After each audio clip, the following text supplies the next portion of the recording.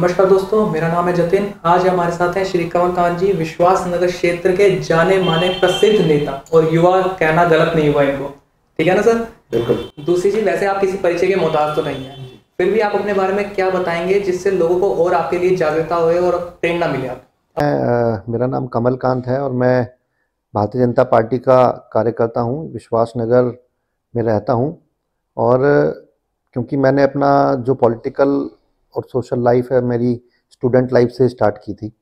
College में time में पढ़ते हुए एबीवीपी का वॉल्टियर रहा और स्टूडेंट पॉलिटिक्स के अंदर होने के नाते स्टूडेंट यूनियन का पार्ट भी रहा। तीन साल स्टूडेंट यूनियन में रहा और क्योंकि तभी से स्टूडेंट लीडर होने के नाते से हम सब लोग स्टूडेंट के इश्यूज़ को उठा करके चलते थे। तो बेसिक मुद्दों की जानकारी, बेसिक मुद्दों को उठाना, बेसिक मुद्दों को लेकर के चलना, आप जिस फ़ील्ड में काम करते हो, उस फ़ील्ड के लोगों की समस्याओं को उठाना तभी छात्र जीवन से ही स्टार्ट कर दिया था। तो उसके बाद फिर ए के साथ में हमारा स्टूडेंट ऑर्गेनाइजेशन, अखिल भारतीय विद्यार्थी परिषद के साथ जुड़ना हुआ कॉलेज के टाइम से ही। और फिर क्योंकि मेरी बैकग्राउंड आरएसएस की रही, मेरी फैमिली, मेरे फादर आरएसएस के कार्यकर्ता रहे तो स्वाभाविक तौर पे क्योंकि फैमिली के साथ में जुड़ाव सबकी का होता है तो मैं भी आरएसएस की बैकग्राउंड से रहा छोटे बचपन से ही हम लोग शाखा जाते थे। तो फिर उसके बाद फिर भारतीय जनता पार्टी के साथ में जुड़ना हुआ, इस शाहदरा डिस्ट्रिक्ट का मैं यूथ का बीजे बीजेवाईएम का डिस्ट्रिक्ट प्रेसिडेंट रहा। उसके बाद फिर विश्वास नगर की पॉलिटिक्स शुरू करी। पार्टी ने 2017 में, क्योंकि विश्वास नगर सीट जो थी वो लेडीज़ हुई। तो पार्टी ने कहा कि भाई चुनाव लड़ना है तो मेरी वाइफ भी क्योंकि पॉलिटिकली पार्टी की एक्टिविटीज़ में पार्टिसिपेट करती थी उनको यहाँ से फिर पॉलिटिक्स के इन्वॉल्वमेंट हुई और यहाँ से कैंडिडेट डिक्लेयर श्रीमती अंजू जी। जी जी श्रीमती अंजू जी उनको यहाँ से निगम पार्षद का चुनाव उन्होंने जीता फिर 2019 से 20 के अंदर वो ईस्ट दिल्ली म्यूनसिपल कॉरपोरेशन की मेयर भी रही। जी तो निरंतर लगातार वर्षों के साथ में भारतीय जनता पार्टी के साथ में जुड़ना रहा और अब क्योंकि विश्वास नगर क्षेत्र की पॉलिटिक्स को अपन फोकस करते हैं तो विश्वास नगर क्षेत्र की जनता की समस्याओं को उठाया भी निरंतर। ठीक है। पार्टी का मोटो मेन क्या है आपकी? देखिए भारतीय जनता पार्टी आज पूरे विश्व के अंदर सबसे बड़ी पार्टी है कार्यकर्ताओं के नाते से। और हमारे जो लीडर हैं हमारे जो सर्वोच्च नेता हैं नरेंद्र मोदी जी इस देश के प्रधानमंत्री वो किसी परिचय का मोहताज नहीं है। हमारी पार्टी किसी परिचय की मोहताज नहीं है क्योंकि हमने एक आइडियोलॉजी बेस्ड पार्टी है।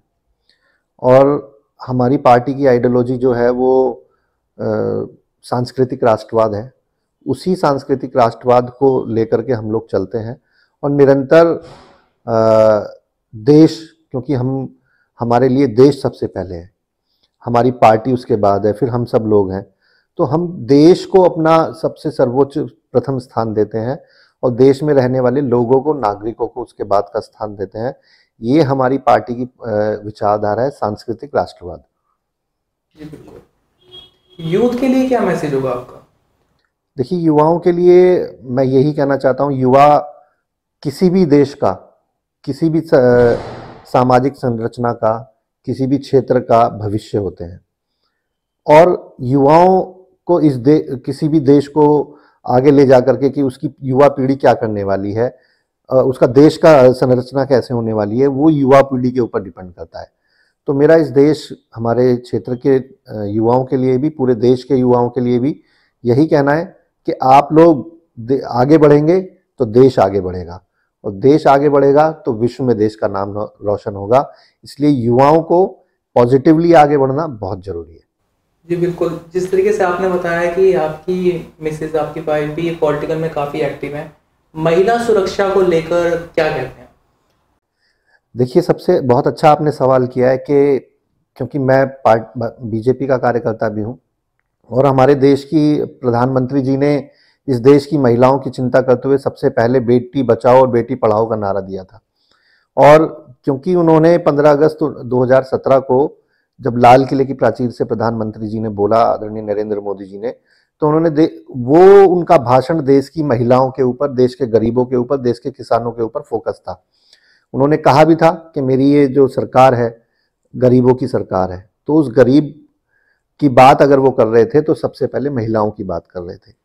तो स्वच्छ भारत मिशन की शुरुआत उन्होंने की। स्वच्छ भारत जो हम सब लोग देखते हैं योजना को पूरे देश के अंदर लागू किया गया। हर घर में जो शौचालय बनाने का काम किया तो वो जो सोच थी हमारे देश के प्रधानमंत्री जी की वो सबसे बड़ी सोच ये थी कि हमारे देश की महिलाओं को स्वच्छता के नाम पे किसी तरह की परेशानी ना हो। शौचालय घर में होगा तो उनको बाहर शौच करने के लिए जाना नहीं पड़ेगा। तो उसी और उसके बाद फिर बेटी बचाओ, बेटी पढ़ाओ का जो अभियान चलाया गया, बेटियों को आगे बढ़ाया गया और महिला सुरक्षा और महिला को शिक्षा साथ में। आज हमारे देश की जो महिलाएँ, हमारी बेटियाँ हैं, वो राफेल उड़ा रही हैं, वो सियाचिन के बॉर्डर जैसी कठिन परिस्थितियों में हमारी देश की सुरक्षा में काम कर रही हैं। हमारे देश की बेटियों ने विश्व में हमारे देश का नाम रोशन किया है। तो शिक्षा के महिला सुरक्षा के साथ शिक्षा को लेकर के भी हमारी पार्टी और हमारी सरकार ने बहुत बड़ी योजनाओं को लेकर पर काम किया है। नहीं सर बिल्कुल मेरा अगला सवाल आपके लिए यही था शिक्षा तो आपने पहले ही उसका आंसर बड़ी अच्छी तरीके से दे दिया। नशा मुक्ति को लेकर आप क्या कहते हैं? जो युवाओं के अंदर उसको किस तरीके से खत्म किया जा सकता है बिल्कुल?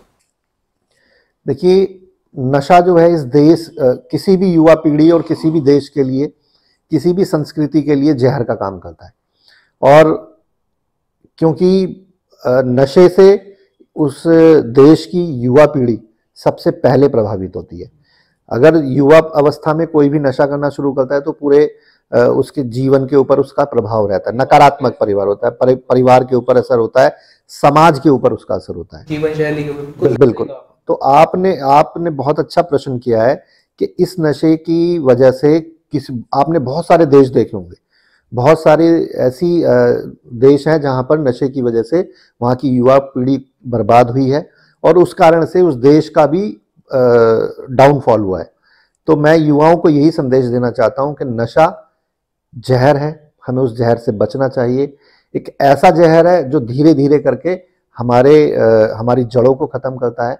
तो हमें नशे से ज़रूर बचना चाहिए और युवाओं को बहुत ज़रूरी इन सब चीज़ों से दूर रहना चाहिए। आपने बिल्कुल बहुत ही अच्छी बात कह दी और युवाओं को ये चीज़ों को ध्यान देना चाहिए कि आखिरकार किस तरीके से उन्हें बचा जा सकता है। संस्कृति को लेकर क्या अनुभव है आपका? देखिए संस्कृति किसी भी देश किसी भी देश की पहचान होती है। और हमारा भारत देश तो वैसे ही संस्कृति के मामले में उसने विश्व को एक मार्गदर्शन किया है।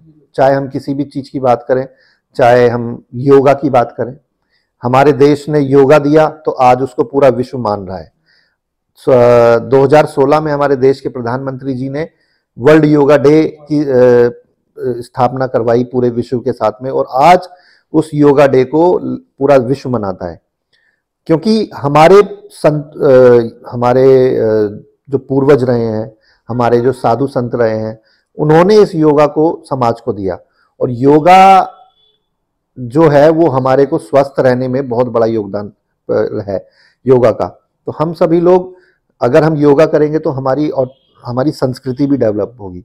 और संस्कृति के नाते से हम परिवार और समाज को एक सुंदर, का सुंदर चित्र बना सकते हैं। और समाज सुंदर होगा तो देश भी सुंदर होगा। और हमारी संस्कृति पूरे विश्व को मार्गदर्शन देने वाली रही है। भारत ने तो भारत में की संस्कृति ने तो विश्व में अनेक तरह की पहचान बनाई। योगा का मैंने उदाहरण आपको दिया है। और हमारी संस्कृति को आपने देखा होगा कोविड का एक ऐसा काल था जिसमें पूरे विश्व ने सबको नमस्ते करना सिखाया। तो नमस्ते हमारे देश की संस्कृति है। उसी संस्कृति का जो हम सब लोगों ने बहुत सारी चीज़ें ऐसी देखी हैं।